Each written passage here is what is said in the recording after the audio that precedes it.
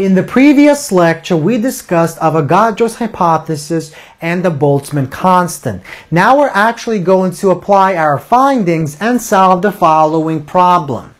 The lowest pressure that is attainable using the best vacuum technique is about 1 times 10 to the negative 12 newtons per meter squared.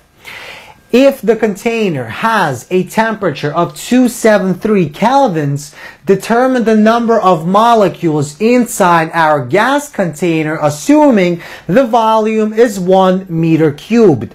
So we have the following container that has a volume of 1 meter cubed and we use our vacuum technique to pump some of those molecules out.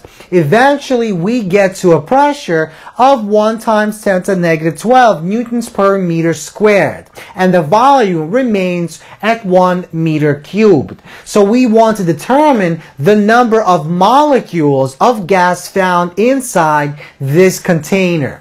So let's begin with the ideal gas law. The ideal gas law states that the pressure times the volume is equal to the number of moles of gas multiplied by the universal gas constant R multiplied by the temperature given in kelvins.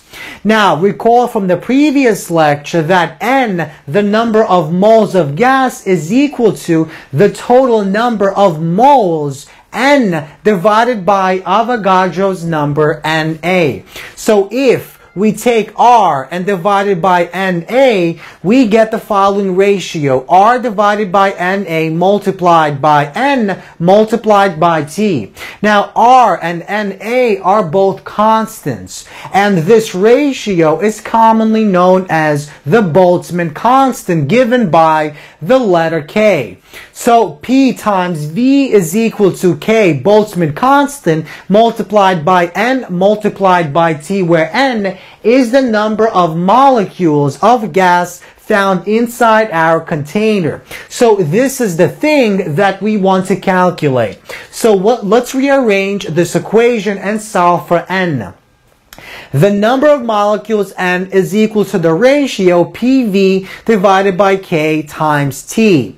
Now we know what P is. It's given to be 1 times 10 to the negative 12 newtons per meter squared. We know what V is. It's given to be 1 meter cubed. We know what the Boltzmann constant is. That's 1.38 times 10 to the negative 23 joules per Kelvin. And we multiply that by our temperature given in Kelvin 273. So we plug these values into our calculator and we find that the number of molecules remaining inside our container is 2.65 times 10 to the 8 molecules.